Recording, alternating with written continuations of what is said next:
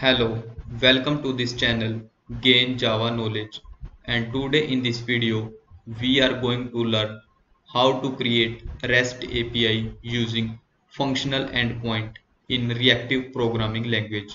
In our previous video we have already seen how to create REST API by using annotation approach. So in this approach we will just create router classes and handler classes so once the browser will send the request client will send the request the request will goes to router. And based on the appropriate url it will process the request to appropriate handler class. And then the function will execute and it will send response back to client. So what is functional endpoints? The spring web flux includes web flux functions a lightweight functional programming model in which functions are used to route and handle the request and contracts are designed for immutability. So here we no need to define any at rate request mapping annotation. We will just define a router function and handler class function. So here we can see in webflux function the HTTP request is received by handler class so the handler class receive the server request and then return the server response back to client. So here we can see HTTP request is handled with handler function, a function that takes server request as a parameter and after that it will return delayed response that is server response and both the request and response object have immutable contracts. So first the incoming request will be routed to the handler function with their router function, a function that takes server request and return delayed handler function when the router function matches. So okay, let's see in the code how to create router and handler classes. So here we no need to define at the rate request mapping annotation to match the endpoint URL. Here we will just use router function is a utility class and we will use its route method to create the router functions object so here first I will create two packages. One will be the router package and second will be the handler package. Inside router package I will create one class that is router implementation class. So first I will create a package. Right click new class so here I will just define dot router. So our router classes will be inside this package. So here I will just define router implementation is the class name and click on finish. After creating router package we'll create one more package. That is handler package. And inside handler package we'll create our all handler classes. Student handler and package name will be handler. Click on finish. So first once the browser will send the request the request will goes to our router implementation. So here I will just define at the rate configuration annotation. And here we just need to create the bean for router functions. So here I will create one function that is public and its return type will be router functions. And it will be server response that we will send back. And here we can give any name to our router functions. Router function a we can give. And here we just need to return same router functions and here I will call route method. And which and which type of endpoint I want to expose that here I just need to define the HTTP method type. So first I will create get get endpoint. So here I will just type get. And here we just need to define its URL path and its handler function class method name. So what will be the URL here I will just get students will be the URL path. And here I will create one more class that is handler class. So inside student handler I will just use the annotation that is at the rate service. So inside student handler I will create a function that will return the list of student. Public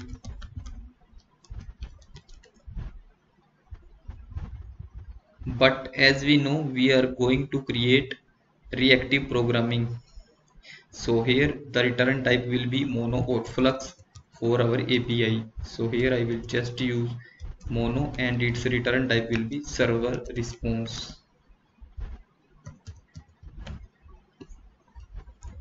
And here the function name get all students get all student and it will receive the server request as a parameter.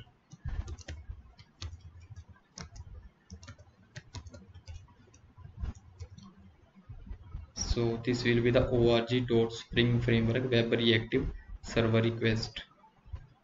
So make it large so we can see easily. So here I will just create the list of student by calling flux.range method and will return list of student. It will contain 20 students. So range will be start from 1 and up to 20 and next we need to call do on next. So here I will process some request.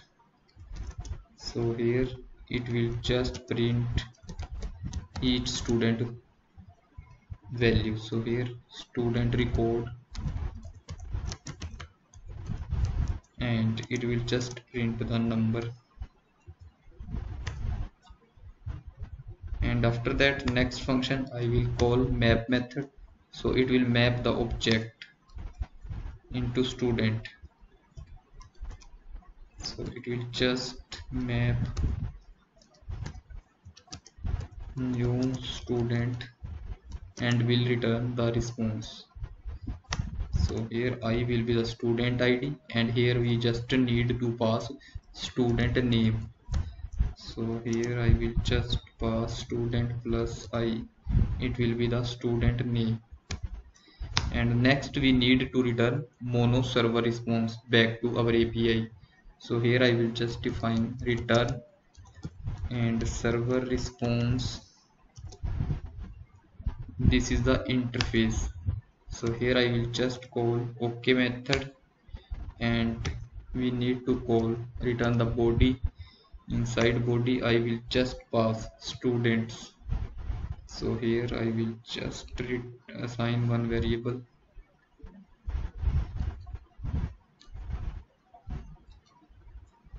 But it's showing some error. So first I will assign a statement to new local variable this will be the student list. So I will just copy and will insert into body. And which type this model student dot class. So now I will save it. So now I will go to my router implementation class and need to define same method name here. So first I will copy it from here and here I just need to import our service layer. So here what I will do private student handler that is handler class. So here I will just define handler double colon operator and will call this function. And after that I will just call build function and inside this method we can define any number of REST endpoint. So here I have just defined only single REST endpoint. After that I will add one more. So now I will just run and try to hit this URL so I will go here and go to our main class and run as java application. So here we can see first our request will be go to router and then router will process the request and pass the request to appropriate handler function.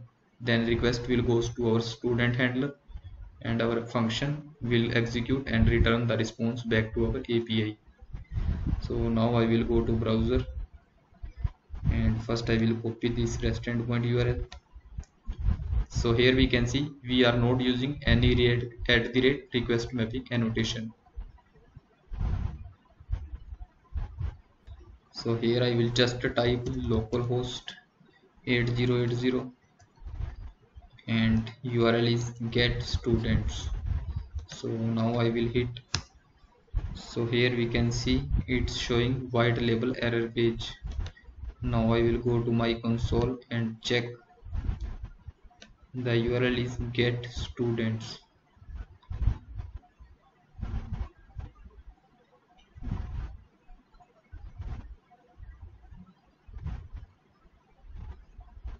okay but here we also need to define one annotation that is at the rate bean so now we'll need to stop the server again and run it again then this will understand run as Java application.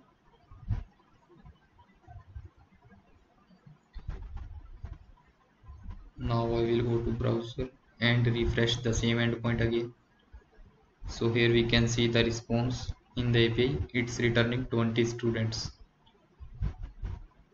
Like this we can create our REST API using router and handler classes now I will go to my router implementation again and will add few more REST endpoints so here we can see this endpoint is not returning me the data in the form of streams it's just returning data in the form of object if you want to receive data in the form of streams then we also need to add content type here. So I will create one more REST endpoint and will return the response in the form of stream of data. So here I will go to again router implementation class and we'll add one more REST endpoint that will also be get type. And here get students in the form of stream so here I will create one more stream handler class. So here I will go and create one new class in the same handler package. So this class name will be student stream handler. And here I will just define the same annotation that is at the rate service. So we can create and import this class into our router implementation class so here I will just copy and will import the class.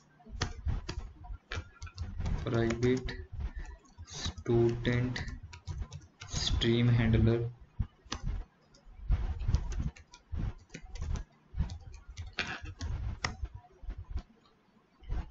So now I will just copy stream handler and will create one method inside our stream handler class so I will go to my stream handler class and here I will just define at the rate bean annotation and here I will create one method that will be the return type mono server response. And here I will just paste the same function name that I have created in our router implementation class. And the parameter will be server request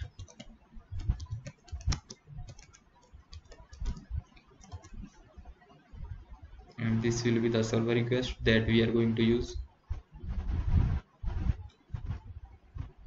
So here I will just copy the same implementation from here. Copy it and we'll go to my stream handler class and we'll paste here. But here I will just add one more method after do next we just need to add delay of elements. Then we can see how we are getting data in the form of streams delay elements.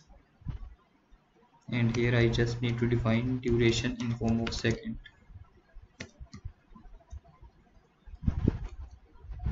So here I will add the duration of one second.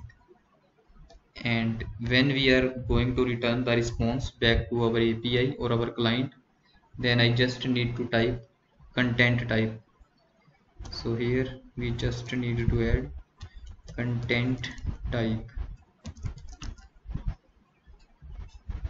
So here content type. And here I just need to type media type. That will be text event stream.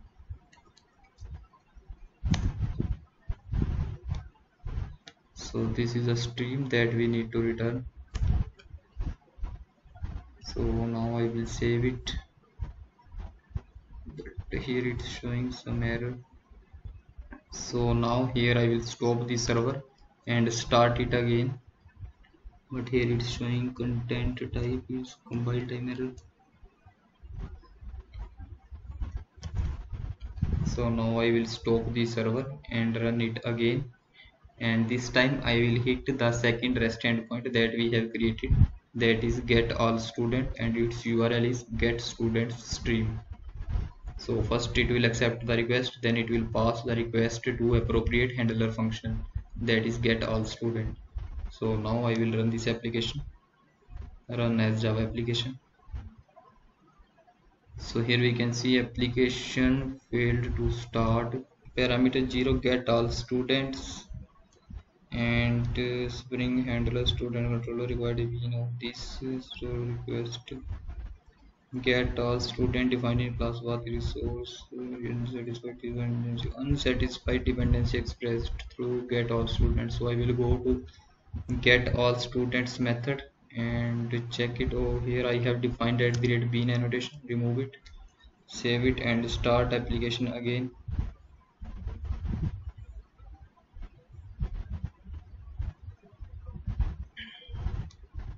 so here we can see application has started port number 8080 using netty server. Now i will go to browser and here I will just pass the URL students.stream and here we can see we are getting the data in the form of streams. Here we are not getting the objects.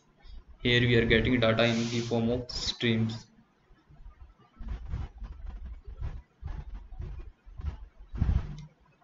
so by using spring web flux or reactive programming we can get the data in the form of streams. That is asynchronous and non-blocking way to get the response back. So now I will create one more endpoint how we can pass the parameter in our path URL and we'll also create one more REST endpoint that will be post. So here I will go to my router implementation class. As we know we can add any number of REST endpoint URL here. So here I will define one more. That is get. And here I will just pass one ID student ID and based on the student ID I will get the student object back. So here I will just call handler. Find by ID and here I will create one more REST endpoint that will be post type. So here we will see how we can define and create REST API using router and handler classes so post student. So here I will just define add student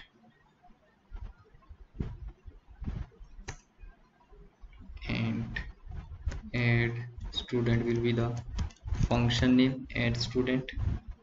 So now I will copy function name and go to my handler class.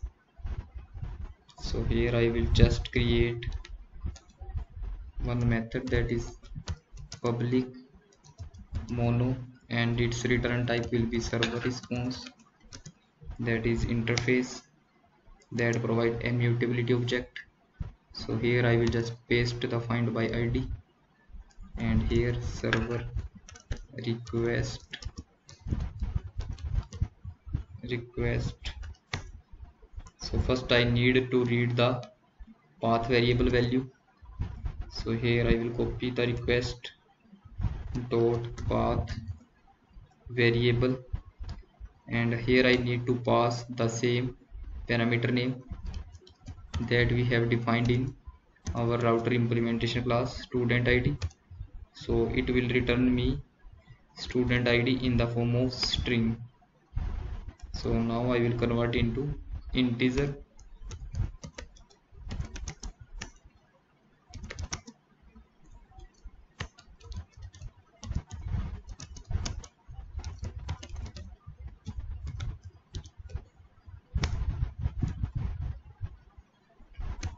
So after converting into integer. Now I will filter the objects so first I will copy this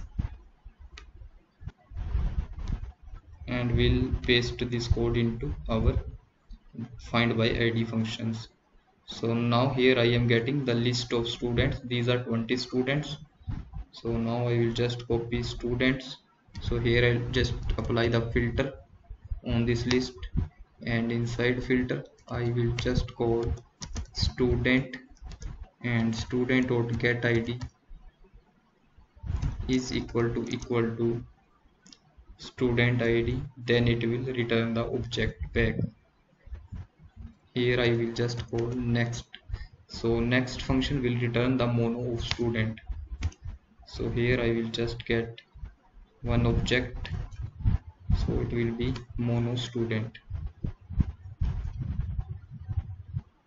now we just need to return the response. So response will be the server response. That is interface. And here we just need to create build method to create the object. And here I will just pass the body. And inside body I will just pass next. That is the response. And entity type will be student dot class so this will return me one student based on the parameters that we are getting. And the next rest endpoint that we are going to create that is used to save the student. So here I will copy this function name and will go to my handler class. And here I will create one more rest endpoint after that I will test all rest endpoint together. So here it is add student so here I will just copy it and paste it. Add student. So here request parameter will be the same and response will be the same. That is mono server response. So here first I need to read the body that we are getting in the request. Request dot body.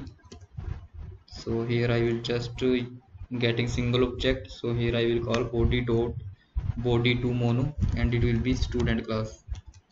Student class. So after calling this function I will get the request body body to mono so here I am not interacting with any database. So here what request I am getting I will just print on the console. So here what I will do I will just call the map method. And inside the map method I will just get read and print the element into console. So here I will just get ID and here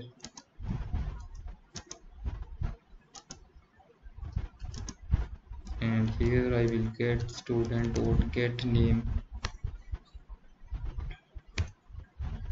and here I will just assign the statement to new local variable mono student.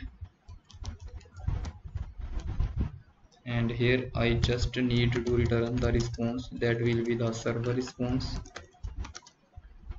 That is the interface and ok method. And here I just need to pass the body. So it will be the student and here I will type the class type will be string dot class. So here I have created post API so after creating post API now we need to test all the APIs so first I will go here and stop the server and run it again. Run as java application so first here I will test the API get student by ID after that I will test API that is post API to add the student. So now server has started. So here I will go get student. Here I will just pass the student ID 6 so here we can see we are getting the response student 6 only. Now we need to test our post API to test post API we also need to pass request body. So here I will open the postman. So here I will pass request URL and it is request body and the HTTP method type is post. So now I will just send the request. So here we can see the response that we are just returning in the form of string. So here we can see our all API are working fine. Okay thanks for watching this video